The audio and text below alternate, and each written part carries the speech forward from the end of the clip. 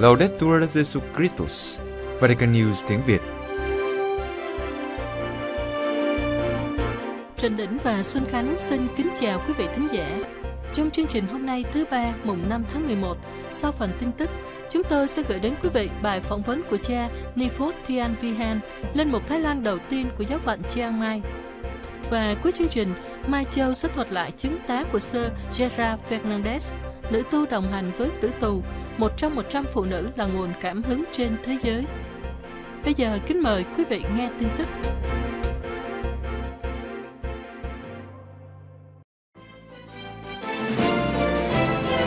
Bản tin hôm nay gồm có các nội dung chính sau đây. Đức Thánh Cha cử hành thánh lễ tại hang ngoại đạo Priscilla. Chính quyền Sri Lanka công nhận một nhà thờ công giáo là nơi thánh. Hãng tin Fides phỏng vấn Đức Thánh Cha nhân dịp kết thúc năm truyền giáo ngoại thường. Đức Thánh Cha tiếp Liên hiệp quốc tế các đại học công giáo. Roma, chiều ngày 2 tháng 11 năm 2019, ngày cầu nguyện cho các tín hữu đã qua đời, Đức Thánh Cha đã đến dâng thánh lễ tại hang toại đạo Priscilla ở Via Salaria, Roma. Thánh lễ được Đức Thánh Cha cử hành lúc 4 giờ chiều tại Tiểu Vương cung Thánh đường Thánh Giáo Hoàng Silvestro cùng với sự hiện diện của các nữ tu biển Đức bảo vệ hang toại đạo và khoảng 100 khách mời. Trong bài giảng thánh lễ, Đức Thánh Cha nhấn mạnh, Thánh lễ cầu nguyện cho các tín hữu đã qua đời, chúng ta cử hành trong hang toại đạo. Đây là lần đầu tiên tôi vào một hang toại đạo. Thật ngạc nhiên, nó nói với chúng ta nhiều điều. Chúng ta có thể nghĩ về cuộc sống của những người phải lẩn trốn, những người có văn hóa chôn cất người chết và cử hành bí tích thánh thể tại đây. Đây là thời đen tối của lịch sử, nhưng họ không khuất phục. Và ngay cả ngày nay cũng thế, nhiều hang toại đạo ở các quốc gia khác, nơi họ phải giả vờ tổ chức một bữa tiệc hay sinh nhật để cử hành thánh lễ, bởi vì tại đó họ bị cấm cách. Ngày nay, nhiều Kitô hữu vẫn còn chịu bách hại, còn hơn cả thời thế kỷ thứ nhất. Những điều này, hang toại đạo bách hại các Kitô hữu và bài đọc hôm nay làm tôi suy nghĩ đến ba từ: căn tính, địa điểm và hy vọng. Căn tính của những người quy tụ nơi đây để cử hành thánh thể và để ngợi khen Chúa thì cùng giống với căn tính của những anh em chúng ta ngày nay ở nhiều quốc gia, nơi mà trở thành Kitô hữu là một cái tội, nó bị cấm, họ không có quyền để trở thành Kitô hữu. Căn tính này là những gì chúng ta đã nghe là các mối phúc. Nếu anh em làm điều này, nếu anh em sống như thế, anh em là Kitô hữu. Anh có thể nói rằng tôi thuộc hội này, tôi được phong trào kia. Đúng là những điều đó rất tốt, nhưng nó là những tưởng tượng so với thực tế này. Thẻ căn cước của anh là tin mừng này, nếu anh không có điều này thì các phong trào, đoàn hội chẳng có ý nghĩa gì. Từ thứ hai là địa điểm. Người ta đến đây để ẩn nấp, để được an toàn và thậm chí chôn người chết. Và ngày nay, có những người phải cử hành thánh lễ trong bí mật tại những quốc gia bị cấm. Tôi nghĩ đến sơ ở Albania đã ở trại cải tạo dưới thời Cộng sản. Tại đây cấm các linh mục ban các bí tích, nhưng sơ đã rửa tội trong bí mật. Các Kitô hữu bồng trẻ em đến để sơ rửa tội cho chúng, nhưng ở đó không có ly hay cái gì để đựng nước, nên sơ đã lấy chiếc giày, múc nước từ dưới sông và rửa tội bằng chiếc giày. Địa điểm như thế gần như ở khắp nơi. Chúng ta không có một nơi đặc quyền trong cuộc sống. Vậy đâu là nơi của các Kitô hữu? Bài đọc thứ nhất nói, linh hồn của những người công chính ở trong tay Thiên Chúa. Họ ở trong tay Thiên Chúa, ở nơi mà Ngài muốn. Ở trong tay Thiên Chúa, chúng ta được an toàn dù có chuyện gì xảy ra, ngay cả thập giá. Những Kitô hữu này đã và đang sống trong tay Thiên Chúa. Họ là những người nam nữ của hy vọng. Đây là từ thứ ba, hy vọng. Bài đọc thứ hai nói về thị kiến cuối cùng, nơi đó tất cả được tái tạo, nơi mà tất cả chúng ta sẽ đến. Khi đến đó, chúng ta không cần gì khác ngoài canh tính của chúng ta. Niềm hy vọng của chúng ta ở trên trời, tay bám vào sợi dây, chúng ta băng qua bờ bên kia. Như vậy, canh tính là các mối phúc và tin mừng Matthew theo chương 25. Địa điểm là nơi an toàn nhất trong tay Thiên Chúa đầy yêu thương. Hy vọng tương lai là bên kia bờ kia luôn bám vào sợi dây. Cuối thánh lễ, Đức Thánh Cha đã xuống hầm mộ bên dưới để viếng. Ngài dừng lại một lát để cầu nguyện trước tượng Đức Mẹ đã có từ giữa thế kỷ thứ ba và tại vòm hang trước nhà nguyện Hy Lạp. Sri Lanka, Ngày 29 tháng 10 vừa qua, Tổng thống Sri Lanka ông Maithripala Sirisena đã gửi một thông cáo cho giáo hội địa phương chính thức công nhận đền thánh Đức Mẹ là một trong các nơi thánh của quốc gia. Chính phủ Sri Lanka đã tuyên bố nhà thờ công giáo Đức Bà Madhu nằm ở Tây Bắc nước này là nơi thánh. Người công giáo Sri Lanka, một thiểu số ở quốc gia đa số là Phật giáo, đã vui mừng đón nhận quyết định này. Đền thờ đã trở thành một biểu tượng của sự hiệp nhất không chỉ giữa người giàu và người nghèo, mà còn giữa chủng tộc Sihalis đa số theo Phật giáo và sắc tộc Tamils chủ yếu theo Ấn giáo, những người thường viếng đến nhà thờ và chia sẻ thức ăn của họ với các tín đồ đạo khác. Nhà thờ Đức Bà Madu được thánh hiến năm 1944 và có một tượng Đức Mẹ được người Hà Lan mang đến vào thế kỷ thứ 17 và luôn thu hút nhiều người. Nhà thờ tọa lạc ở trung tâm của nơi từng xảy ra cuộc nội chiến ở nước này giữa các năm 1983 và 2009. Nó nằm trong vùng do nhóm ủng hộ độc lập Hổ Tamil kiểm soát. Trong thời gian chiến tranh, nhóm Hổ Tamil đặt chất nổ và mìn trên khu vực xung quanh đền thờ. Nhà thờ đã bị thả bom bởi các nhà hoạt động ủng hộ độc lập vào tháng 11 năm 1999, giết chết 37 người, bao gồm cả trẻ em. Đức giám mục của Manar, giáo phận nơi có nhà thờ, thường kêu gọi cả hai bên xung đột không tấn công thường dân và cứu khu vực xung quanh nhà thờ, nhưng không bao giờ họ lắng nghe lời ngài. Kể từ năm 1990, nhà thờ đã tiếp đón hàng ngàn người tị nạn. Vatican, ngày 4 tháng 11, phóng viên Gianni Valente của hãng tin Fides thuộc Bộ Truyền giáo đã phỏng vấn Đức Thánh Cha Francisco nhân dịp kết thúc tháng truyền giáo ngoại thường. Trong cuộc phỏng vấn, Đức Thánh Cha giải thích, loan báo Chúa Giêsu và tin mừng của Ngài luôn liên quan đến việc đi ra và lên đường. Và Đức Thánh Cha cảnh báo, giáo hội đi ra không phải là một biểu hiện thời thượng, nhưng là mệnh lệnh của Chúa Giêsu. Trong tin mừng Marco, Chúa yêu cầu các môn đệ ra đi đến toàn thế giới và rao giảng tin mừng cho mọi loài thụ tạo. Đức Thánh Cha nhắc lại, giáo hội hoặc là ra đi hoặc không phải là giáo hội, giáo hội hoặc được loan báo hoặc không phải là giáo hội. Và Đức Thánh Cha giải thích thêm, nếu giáo hội không ra ngoài, giáo hội bị hư hỏng, bị biến dạng, giáo hội trở thành một thứ khác, hay một hiệp hội thiên liêng, một công ty đa quốc gia nhằm đưa ra các sáng kiến và thông điệp có nội dung về đạo đức tôn giáo. Đức Thánh Cha nói tiếp, tất cả điều này không sai, nhưng đó không phải là giáo hội, bởi vì thay vì làm chứng cho công trình của Chúa Giêsu và nhanh lại cuộc gặp gỡ với Ngài, nó kết thúc ở việc biến Chúa Kitô theo ý mình để nói nhân danh một ý tưởng nào đó về Chúa Kitô trở thành những ông bầu xô nhỏ của đời sống giáo hội.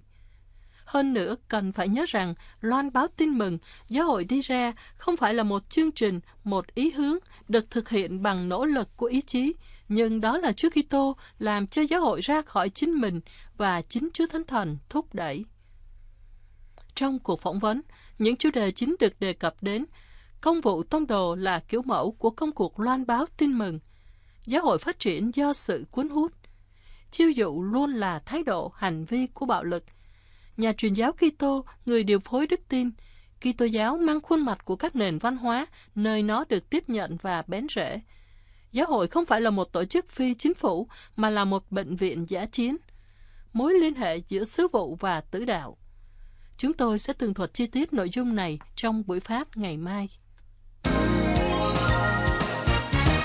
Vatican, sáng mùng 4 tháng 11, Đức Thánh Cha Francisco đã tiếp các tham dự viên tham dự diễn đàn thường niên của Liên hiệp Quốc tế các đại học công giáo đang tổ chức tại Trung tâm Hội nghị của dòng Augustine gần Vatican từ ngày mùng 4 đến mùng 5 tháng 11.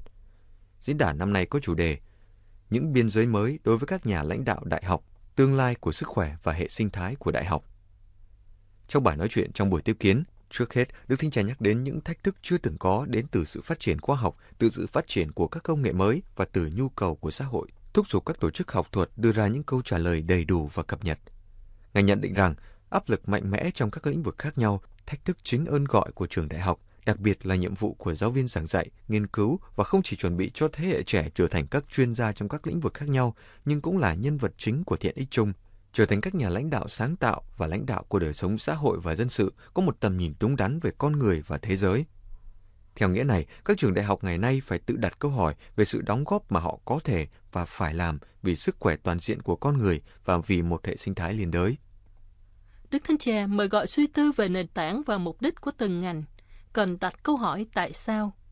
Ngài nói, một nền giáo dục bị giảm thiểu thành một nền giáo dục kỹ thuật đơn thuần sẽ trở thành một sự tha hóa của giáo dục. Tin rằng chúng ta có thể truyền tải kiến thức bằng cách trừu tượng hóa khía cạnh đạo đức của nó thì sẽ giống như chối bỏ việc giáo dục. Trách nhiệm của đại học không giới hạn ở các sinh viên nhưng mở rộng đến nhu cầu của toàn thể nhân loại. Đức Thánh Cha khuyến khích Liên hiệp quốc tế các đại học công giáo phấn đấu để đạt được một cộng đồng học thuật quốc tế đoàn kết hơn. Một mặt, bằng cách trung thành hơn với việc dựa trên bối cảnh Kitô giáo, từ đó các trường đại học được khai sinh. Và mặt khác, bằng cách củng cố mạng lưới giữa các trường đại học cũ và mới hơn – để phát triển một tinh thần phổ quát nhằm tăng chất lượng đời sống văn hóa của con người và của các dân tộc. Cuối cùng, Đức Thánh Cha khẳng định rằng các lãnh đạo đạt được mục đích khi các năm học nhắm đến không chỉ phát triển trí tuệ mà còn trái tim, lương tâm cùng với các khả năng thực hành của sinh viên. Con đường mà giáo hội và các học viện công giáo phải theo được diễn tả bởi vị thánh quan thầy của Liên hiệp quốc tế các đại học công giáo, Thánh John Henry Newman – Giáo hội không sợ kiến thức, nhưng thanh tẩy tất cả. Giáo hội không kìm nén yếu tố tự nhiên của chúng ta, nhưng nuôi dưỡng toàn bộ. Vatican News tiếng Việt Chuyên mục Sinh hoạt giáo hội Phỏng vấn cha Nifo Tian linh mục Thái Lan đầu tiên của giáo phận Chiang Mai.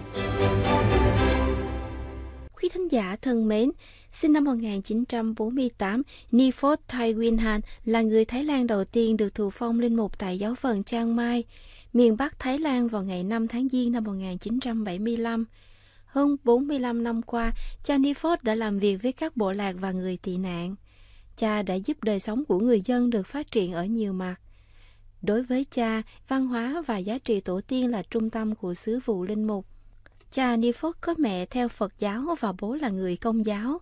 Vào năm 17 tuổi, cha gia nhập chủng viện, được huấn luyện thời kỳ sau công đồng Vatican II, đánh dấu sự mở cửa và hiện đại hóa của giáo hội.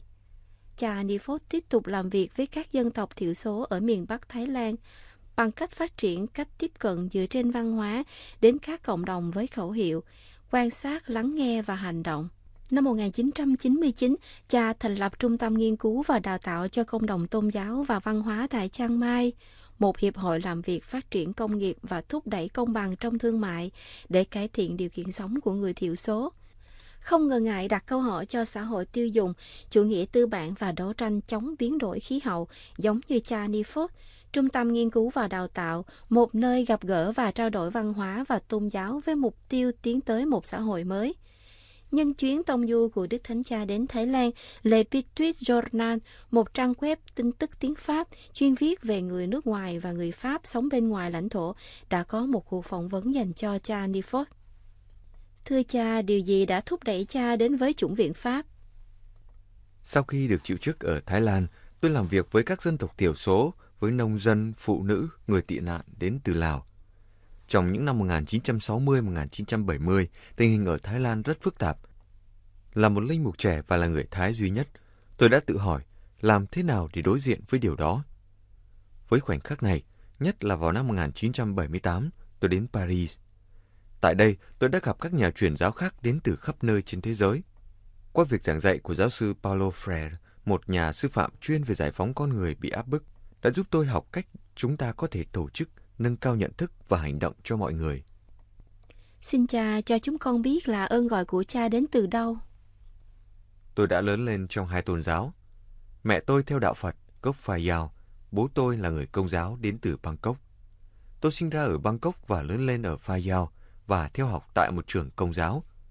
Vào những năm 1960, tôi chứng kiến nhiều phụ nữ đến làm việc trong ngành công nghiệp tình dục ở Bangkok hoặc gần các căn cứ của Hoa Kỳ. Tôi nhận thấy những phụ nữ này không được tôn trọng nhân phẩm. Tôi nghĩ có gì đó không ổn và tôi đã tự hỏi, tại sao lại như thế? Từ quan điểm xã hội, đó chỉ là một câu hỏi, nhưng từ cái nhìn tôn giáo, tôi nhận ra đây là một dấu chỉ. Chúa mời gọi tôi giúp đỡ nhân loại. Là một nhà truyền giáo, một trong những người đầu tiên đã phát triển cách tiếp cận văn hóa, cha có thể cho chúng con biết gì về nó? Chúng ta phải tôn trọng văn hóa của mọi người, Đối với tôi, nó thực sự quan trọng. Vai trò của nhà truyền giáo không chỉ là dạy kinh thánh, mà còn biết tôn trọng mọi người. ở Thái Lan, văn hóa và cuộc sống của người dân xoay quanh lúa gạo. Để hiểu những vấn đề của họ, phải lắng nghe họ, lắng nghe những câu chuyện cổ xưa có ảnh hưởng đến tâm trí và niềm tin và liên kết với thiên nhiên. Chúng tôi cố gắng làm cho mọi người quay trở lại các giá trị nơi thiên nhiên là trung tâm. Chúng ta cũng phải giúp đỡ các nhóm thiểu số xây dựng lịch sử của họ từ thế hệ này sang thế hệ khác. Trước thập niên 1970, các nhà truyền giáo và tổ chức phi chính phủ quan tâm nhiều đến những người không có khả năng cần sự giúp đỡ. Nếu những nhóm dân tộc này không hiểu biết làm thế nào họ tồn tại hàng trăm năm nếu không có tổ chức phi chính phủ hay giáo hội. Nếu chúng ta tự hỏi điều này, chúng ta có thể thấy rằng mỗi cộng đồng đều có một cái gì đó tốt. Chỉ cần gặp gỡ, lắng nghe và học hỏi từ họ. Cha nghĩ gì về xã hội đương đại? Tôi khá lo lắng. Khí hậu đang thay đổi rất nhiều. Thái Lan đang trải qua ngày càng nhiều đợt hạn hán kéo theo các trận lũ lụt. Tôi nghĩ rằng đây là hậu quả của 400 năm qua khi chúng ta chuyển từ một thế giới coi trọng khía cạnh thiêng liêng của thiên nhiên sang thời đại dựa trên khoa học hiện đại, tập trung vào vật chất, chủ nghĩa tiêu dùng và chủ nghĩa tư bản. Ngày nay, đất mẹ không được tôn trọng, không còn lòng trắc ẩn và khi người ta không còn lòng trắc ẩn nữa, họ sẽ bị chủ nghĩa duy vật và xã hội tiêu dùng lôi cuốn. Đó là lý do tại sao tôi làm việc theo một cách tiếp cận văn hóa và cộng đồng. Chúng ta phải trở về giá trị, nơi thiên nhiên là trung tâm, trở lại chiều kích thánh thiêng của nó. Đây là nơi các tôn giáo thực sự quan trọng, lợi ích của người dân phải là trọng tâm của sứ vụ, giúp họ sống tự do trong thế giới hiện đại và không bị làm nô lệ. Chúng ta phải nhận thức được thế giới xung quanh để mang lại sự thay đổi và tham gia xây dựng một xã hội mới. Tôi không nói rằng chúng ta cần quay trở lại cuộc sống trước thời kỳ hiện đại, nhưng chúng ta cần trở lại với tâm linh nhiều hơn. Cha có thể cho chúng con biết là công đồng công giáo ở miền Bắc Thái Lan hiện nay như thế nào? Giáo phận Chiang Mai được thành lập năm 1959, gồm 8 tỉnh, với 70.000 người công giáo và 100 linh mục. Người công giáo chủ yếu đến từ các dân tộc thiểu số. Năm 1951, khi những nhà truyền giáo ở Trung Quốc bị trục xuất, họ đến định cư ở miền Bắc Thái Lan. Họ đã có kinh nghiệm với người thiểu số ở đó. Theo chúng con được biết thì Đức Thánh Cha Francisco thăm Thái Lan từ ngày 20 đến ngày 23 tháng 11. Cha đã chuẩn bị cho chuyến thăm này như thế nào? Tại sao nó quan trọng đối với các Kitô hữu ở Thái Lan? Chuyến viếng thăm của Đức Thánh Cha Francisco là một sự kiện tuyệt vời. Nó kỷ niệm 350 năm ngày thành lập sứ vụ Siêm của giáo hoàng Clemente thứ 9. Đó là một dấu hiệu tích cực có thể giúp hồi sinh giáo hội. Trong bối cảnh xã hội thay đổi hiện nay, đặc biệt là trong thời đại kỹ thuật số và những thách thức của biến đổi khí hậu, Đức Thánh Cha có thể gửi một thông điệp mạnh mẽ đến giới trẻ và truyền cảm hứng cho họ tham gia cùng với xã hội trong việc xây dựng một xã hội tốt hơn. Tôi cũng nghĩ rằng Đức Thánh Cha có thể mang lại sự hiện đại hóa cho giáo hội ở Thái Lan, mà đôi khi là một tổ chức hơi già, để làm cho nó phù hợp hơn với bối cảnh hiện tại. Tôi đã chuẩn bị cho chuyến viếng thăm này kể từ khi chịu chức và một cách đặc biệt hơn từ khi tôi gặp Đức Thánh Cha tại Roma trong những năm qua. Tôi đã nêu cách tiếp cận văn hóa và cộng đồng với Đức Thánh Cha trong những lần gặp gỡ. Trong 50 năm tới, chúng tôi tiếp tục phát triển phương pháp này ở Thái Lan. Vào tháng 1 năm tới, chúng tôi sẽ mở một trung tâm mới với tên gọi Trường học trí tuệ châu Á, phù hợp với sứ mệnh của Đức Thánh Cha.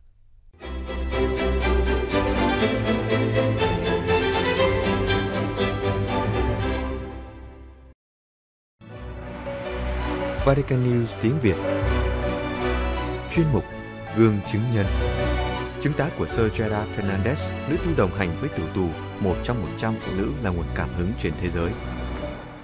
Trong số 100 phụ nữ được BBC đề cử là nguồn cảm hứng cho toàn thế giới năm 2019, có một nữ tu công giáo.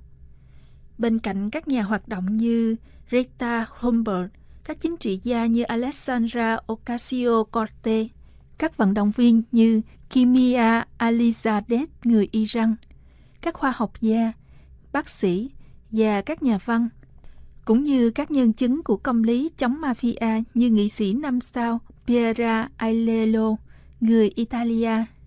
Xuất hiện nụ cười nhăn nheo của Sir Gerard Fernandez, người Singapore, 81 tuổi.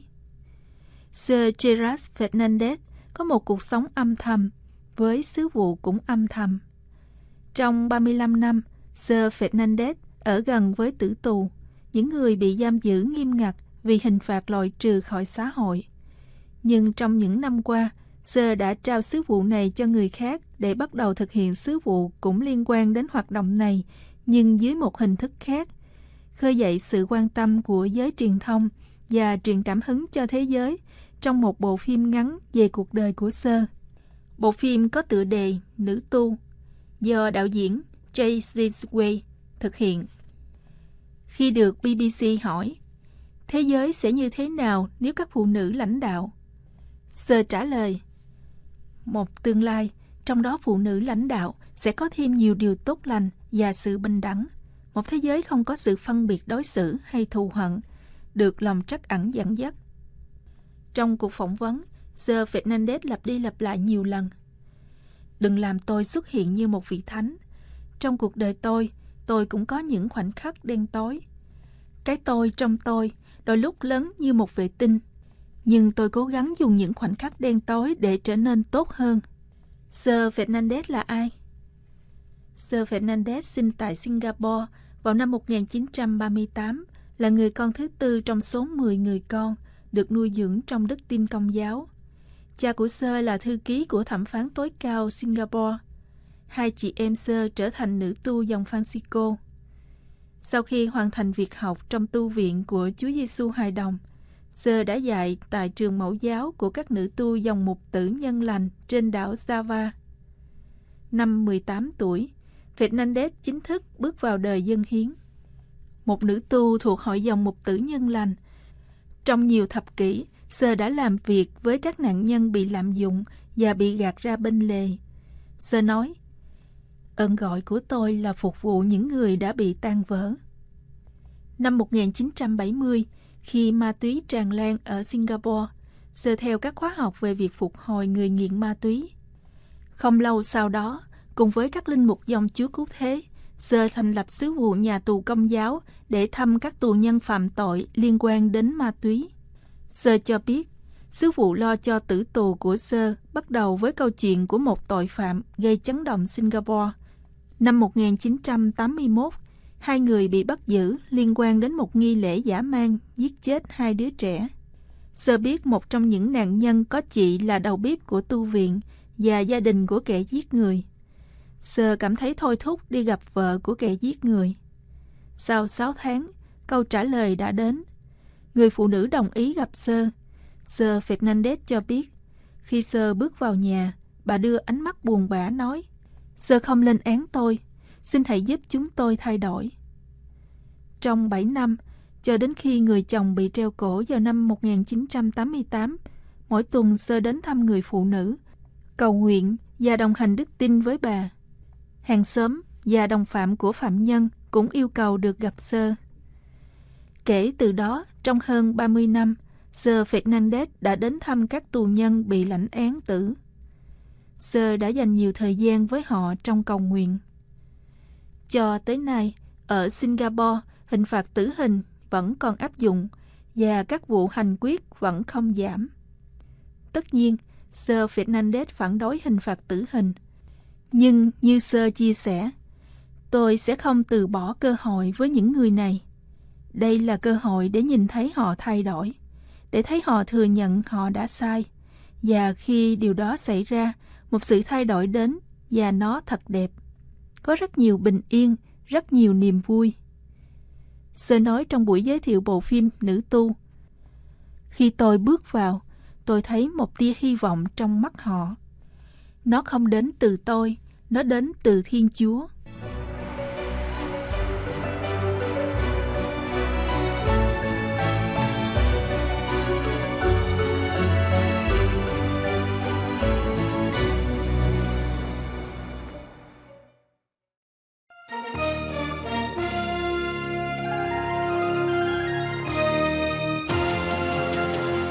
Cảm ơn quý vị và các bạn đã chú ý lắng nghe.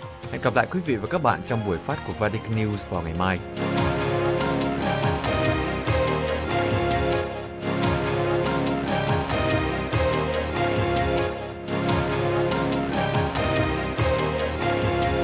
Laudetur Jesu Christus, ngợi khen Chúa Giêsu Kitô.